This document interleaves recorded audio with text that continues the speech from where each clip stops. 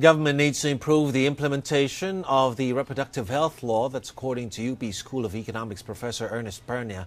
Just days after the Population Commission said the country's population will hit 104 million this year.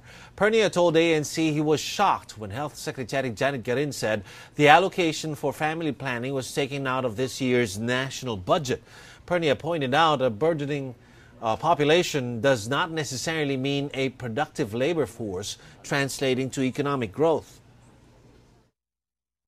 If we continue to temporize on implementing the RH law, if we continue to dilly-dally on this issue, then uh, we are not going to have a bright future. Mm -hmm. The economy is not going to have a bright future.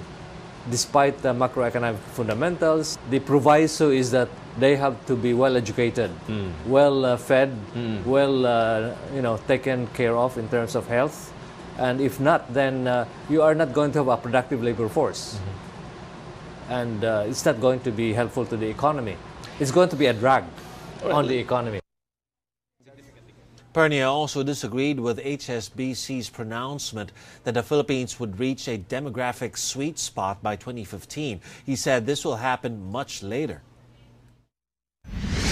We are likely to enter the sweet spot maybe uh, business as usual mm-hmm. in 2030 yet. We still have a high fertility rate. We mm-hmm. have we still have the highest fertility rate in ASEAN. Mm-hmm. About 3.2 children, 3.1 children per woman on average.